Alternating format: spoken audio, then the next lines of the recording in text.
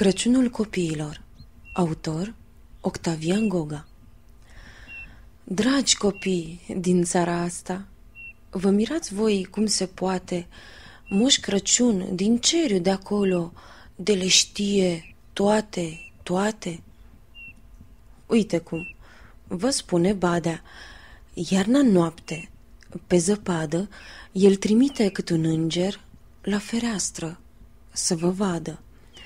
Îngerii se uită în casă, văd și spun, iar moșul are colonceriul la el. Întindă pe genunchi o carte mare.